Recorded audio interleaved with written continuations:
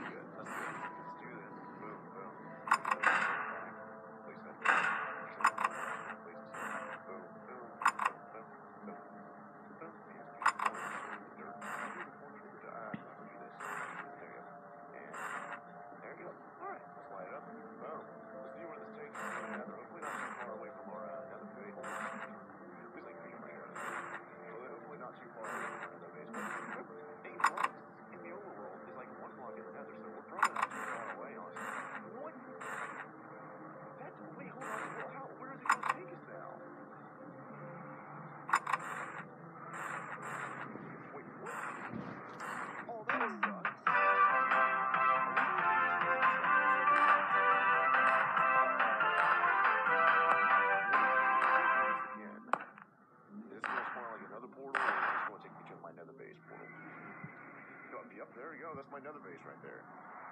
I guess if I want to have a fast way to get home, then hey, there you go. I, I, there isn't a fast way to the nether, or to the village, though. That's kind of what I, I guess if anything, maybe I could break this the portal. I don't know. I, I probably could figure something out, but man, now I don't have a horse. Do I have any saddles? I thought I had saddles from killing all those, uh, well, I might have put them up in, like, chests or something like that over here. I guess I could tame another, like, a secondary horse, I suppose. I just, just kind of leave one here always. We